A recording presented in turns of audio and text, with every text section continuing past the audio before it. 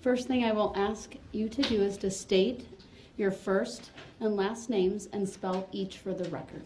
All right, my first name is Sarah, S A R A H. My last names are Wehmeier, W E H M E I E R, and Aparicio, A P A R I C I O.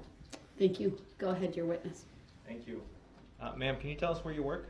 I work for the School District of Waukesha.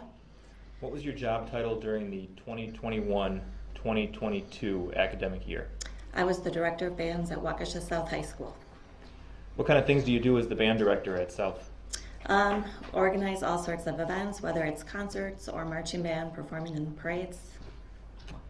How long did you hold that position?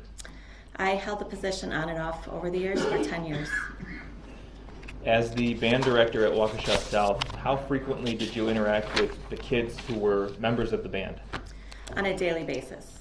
Okay. And did you know the name of all the kids that were in your marching band during that school year? Oh, absolutely, yes. Did the band march in the 2021 Waukesha Christmas Parade? Yes, we did. Were you there with them? Yes, I was. Had you done that in the past? Yes, I had. About Um, how many every, times? Every year that I was there, we did that parade as well as Memorial Day. Would you describe it as an event that the kids look forward to? Absolutely. When the band marches, uh, are they in formation? They are. What about uniforms? Do they have any? We do have uniforms, yes. Okay. Uh, when you march in formation, is this something that you practice with the band? We do. We practice um, with the students that are in the marching band portion of the parade. We had also done another parade in the Dells that year, so we had practiced with that. For the students that are not in marching band, we had practiced during class time for several several weeks leading up to it. How does the formation of the marching band get set up? So we practice during class, and then we kind of have the general structure of what it will look like. And then student leaders within the section place the students in their places the day of the parade. So they have a little leeway, but you don't want bass drums marching next to clarinets. Correct, exactly. So we say these two rows will be flutes. So senior leaders help decide which flutes are in those located or those specified places. Okay. Uh, I'm going to ask that we project Exhibit 21 onto the screen for the witness and the defendant. Permission granted. Just let me know when you see a picture in front of you. Okay. you. It is here. Yep. Okay, what are we looking at with Exhibit 21? Can you tell us what this is? Uh, so this is an aerial view of our marching band. Um, you can see the names of the students that are identified. Those were all students that were physically impacted by the car that day. November 21st of 2021, Correct. the Waukesha Christmas Parade. Correct. Have you reviewed this uh, photograph and the information contained in it before your testimony today? Yes, I have. Does it accurately represent uh, the formation of the kids in your band on that day? It does. Yes. I move Exhibit uh, 21 into evidence and ask to publish. Any position? The object. Exhibit 21 has received permission to publish is granted. And can we zoom in on that a little bit? There we go. Can you walk us through uh, from left to right, just identifying? I know that we can all read, but just for the record, can you read those names for us and then also tell us what instrument each of those kids is playing? All right. So first we have Aiden Lofgren on bass drum, Connor Tank on crash cymbals, Justin Gullickson on sousaphone, Eric Teeks trombone, Tyler Pudliner on tenor sax, um, still on the exterior Harry Gofoy on trumpet, then Eleanor Anders on mellophone, Theo Mazza on trumpet, Mara Gilchrist on alto sax, and Sasha Catalan on clarinet. What's a mellophone? A mellophone is a marching version of a French horn, What about a sousaphone? a marching version of a tuba. Have you ever seen the Ohio State Marching Band perform? I have, yes. I'll withdraw the question. Could So- be the Badgers.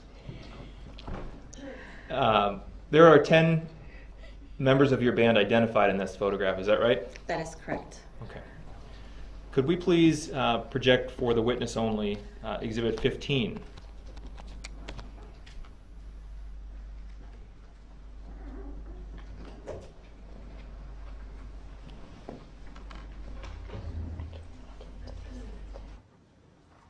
Do you see something on your screen in front of you? There's a map on the screen. Are you familiar with downtown Waukesha? I am, yes. Okay. Do you recognize what we're looking at in this map? I do, yes. Okay. Um, exhibit 15 was previously received and published. I'd ask to publish again. Permission granted. Could we zoom in, um, Ms. Gussie, on the intersection? There we go. Yep. All right. Do you see a, uh, a yellow star between um, Barstow and Gasper Streets on Main Street? Yes. And do you see the line connecting that yellow star to uh, a box with some green background and, and some names I do. under the banner of Waukesha South Band? Correct, yes. Take a, a moment, take as much time as you need, read through those names in that list. Let me know when you're done. Okay. Are the names on that list um, identical to the names that you previously told us about in Exhibit 21, that photograph of the aerial view? Yes. Overruled.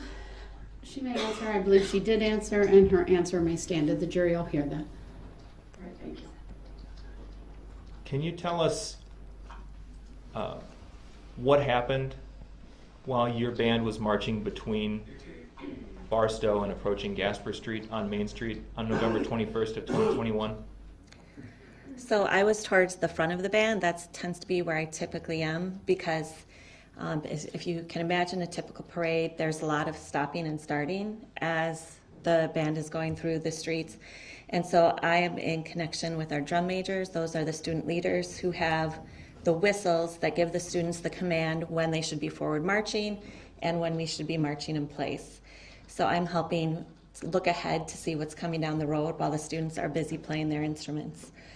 Um, the streets had just narrowed as we got into that point, and everyone was there was a lot of enthusiasm in the crowd, and the the stu- I could feel the energy from the students. And all of a sudden, I heard something going on, so I, I turned around, and at first I thought there was an emergency vehicle or something. I could tell there was some sort of a vehicle trying to get through. And then I started just seeing things flying in the air, and I realized this was not a vehicle waiting for people to move out of the way. I realized this vehicle was running over people. Um, the students around me, we all kind of dispersed at the same time. I thought in the initial moments that it was an accident, but then as I turned and the car went immediately past me, and I could see that the driver was staring straight ahead and knew that, you know, could, could have clearly seen that they were running over people. What happened next? Um, my first impact was to run after the car for a moment, and then I realized because I watched them run over the people in front of me as well. And then I turned around and I saw my students all laying on the street and screaming. A police officer immediately, what felt like at the time, immediately came running, shots fired. And so my students who weren't injured were all dispersed, and I was trying to at the same time watch over my students in the street, but keep an eye on where the other students who were going so that I could make sure they were all safe as well. But I stayed in the streets so that we didn't know where the shots fired were coming from, so I wanted to make sure that those students in the street were safe as well. And just to clarify, you mentioned that you heard from a police officer that shots had been fired. Correct. You yourself, with the trained ear of a band director, didn't hear any gunshots? I did not hear gunshots, no. Okay. I'm going to ask that we uh, project on the screen for the witness only, exhibit number 24, please. Permission granted. And can we make sure we're playing this at normal speed? And we're going to turn the volume off while we identify, so we'll leave it off there. Just going to play a few seconds without any volume, um, and then I'll stop and I'll ask you a question, okay? Okay.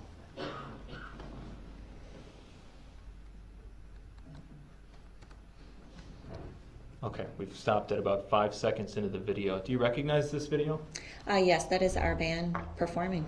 And uh, I'm not sure how familiar you are with downtown, but do you know the businesses that your band is in front of right now? Um, we're by Divino Gelato and Martha Merrell's, Okay. and then I, the Alo Chocolat, and everything is on the other side, side as well as an apartment building. okay. Um, Have you reviewed this video before your testimony today? Uh, yes, I have. Does it accurately depict what happened to your band the Yes, it afternoon of the does. parade? Move exhibit 24 into evidence and ask to publish. Any position, Mr. Brooks? Objection, um, if the witness has seen this video before, how, how would that corroborate with the testimony? Your objection is noted, it's overruled. Exhibit 24 is received, permission to publish is granted. We are going to play this uh, entirely through. It's 30 seconds long. We're going to play it once with the audio at normal speed. Go ahead.